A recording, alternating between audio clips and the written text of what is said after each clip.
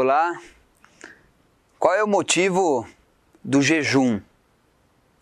Ontem nós estudamos um pouquinho é, sobre é, as pessoas que jejuavam aquele tempo para alcançar alguma graça diante de Deus. Hoje nós vamos ler que essas pessoas não só jejuavam para alcançar graças, mas elas jejuavam para brigar com as outras pessoas, olha só. No versículo 4 de Isaías 58 diz: Eis que vocês jejuam apenas para discutir, brigar e bater uns nos outros. Jejuando assim como hoje, o clamor de vocês não será ouvido lá no alto. Não adianta fazer jejum para alcançar algo ruim, é lógico. Veja, no versículo 6 e 7, nós encontramos o seguinte texto: Porventura não é este o jejum que escolhi?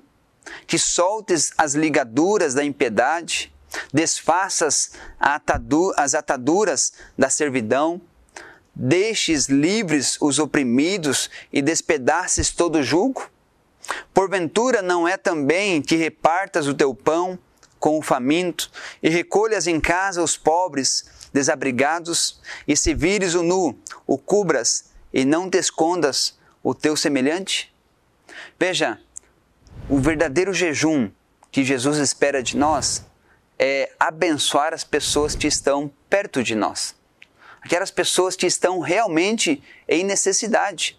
Talvez perto de nós não tenha pessoas assim, mas nós devemos abençoar essas pessoas que estão em necessidades. Vamos olhar para a vida de Jesus?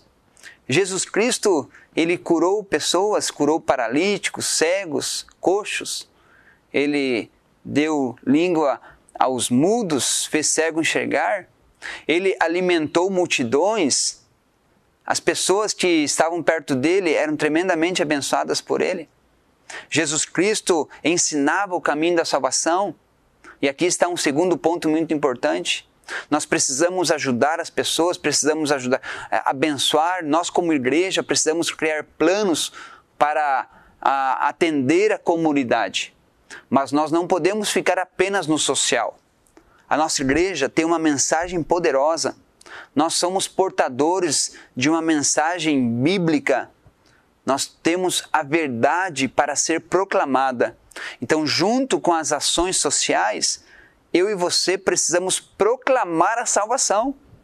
Eu e você precisamos abençoar e ajudar as pessoas, mas junto com a ajuda precisa ir o espiritual nós temos uma mensagem poderosa. Essa mensagem vai salvar as pessoas. Sabe por quê? Porque se você alimentar elas, daqui a uns dias ela vai ficar com fome novamente. Se você vesti-las, daqui a alguns dias, ela também vai, não vai ter mais a roupa. Se você ajudar a pagar um aluguel, daqui a alguns dias vai ter que pagar o aluguel de novo. Estou dizendo que nós precisamos ajudar, mas nós precisamos pregar para elas também, pois a pregação pode levar elas à salvação. E a salvação traz a eternidade para ela. Veja, Jesus Cristo, ele disse lá no Evangelho de Mateus: Eu estive é, com fome, me deste de comer, eu estive é, com sede, me deste de beber, eu sendo forasteiro, me hospedaste, é, estando nu, me vestiste, achando-me enfermo e preso, foste me visitar. E Jesus falou assim, mas as pessoas perguntaram, mas quando que nós fizemos isso para você? E Jesus disse, quando fizeste a um desses meus pequeninos, a mim o fizeste. Veja, eu termino hoje com o texto de Tiago 1, versículo 27. Leia na sua Bíblia e marque hoje e compartilhe nas redes sociais esse texto. Olha que texto poderoso. A religião pura e sem mácula para com o nosso Deus e Pai é esta visitar os órfãos e as viúvas nas suas tribulações, e assim mesmo guardar-se incontaminado do mundo. Queridos, que Deus abençoe cada um de nós, que nós possamos ajudar quem está perto ou longe e tornar a vida das pessoas uma vida melhor, mas para que ela possa conhecer Jesus Cristo de uma forma profunda. Vamos orar?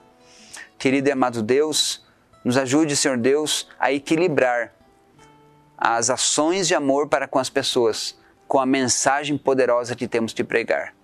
Nós queremos, Senhor Deus, que a nossa igreja seja relevante, que a nossa igreja ela possa atender às necessidades da comunidade, mas que a nossa igreja também seja uma igreja que prede o Evangelho, que mostre ao mundo que Jesus está prestes a voltar, que mostre ao mundo as verdades que contém na tua palavra.